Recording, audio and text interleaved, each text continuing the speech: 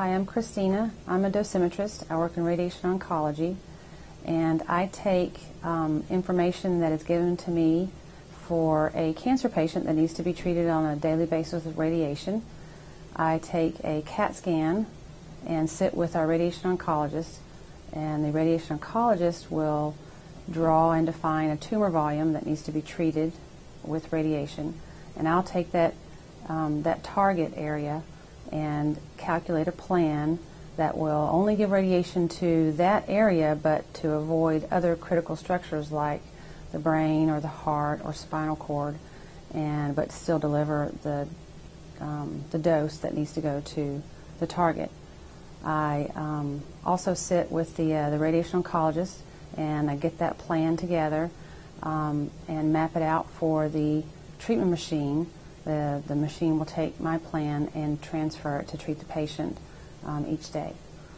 At times, uh, I may need to have to go to surgery um, take one of my brachytherapy plans for a prostate seed implant to um, allow that it is the plan is implemented properly.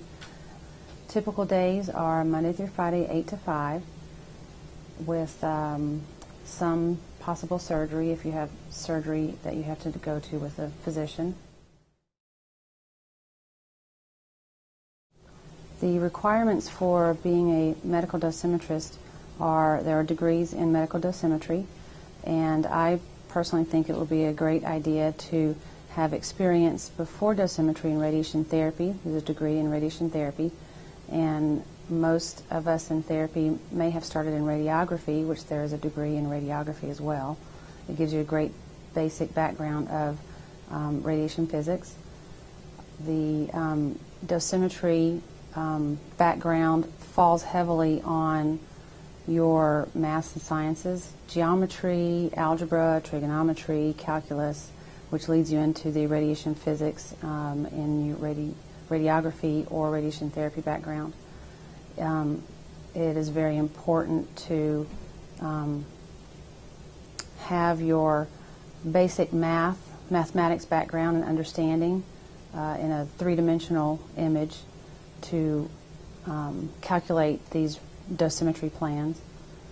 Um, there's a good website you can find the definition for a dosimetrist at www.medicaldosimetry.org, and it will explain a lot of the different nuances of the specific uh, definition of a dosimetrist and some other avenues in schooling across the country that, that will connect you to their, their links. In order to get your national certification in dosimetry, there are different steps that have to be taken. The field is moving towards, before you're able to sit for your national boards, you have to have two or three years of working in dosimetry full time under a physicist and radiation oncologist. But you also, the field is moving towards, you also have to have formal training at a formal medical dosimetry program, which there's more information details on the website that I just listed.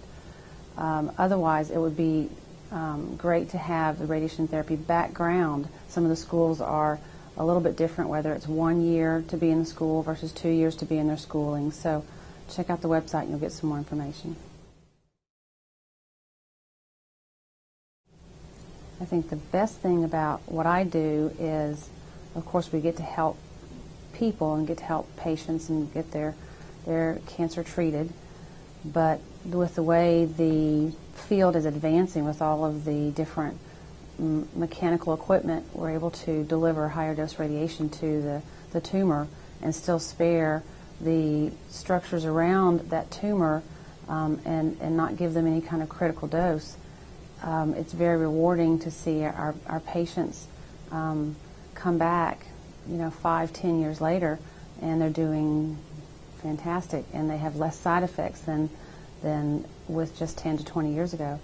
Um, it is very rewarding to sit with the doctors and understand the different uh, tumor cells and the things that are going on with the patient and to know that we can help them and um, get them treated and help them through their journey.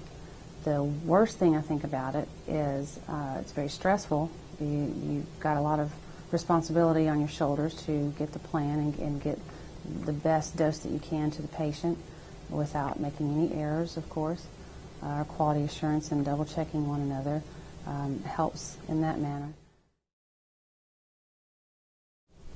My advice would be to keep your GPA up starting off in high school before you graduate. If you like math and sciences, this is actually an avenue that you could utilize in your future profession. And I think that if you have radiation therapy background is a benefit clinically in this field. Um, if you would like to research the dosimetry occupation, go to the website and look at it. You, you'd have to research it a little bit more.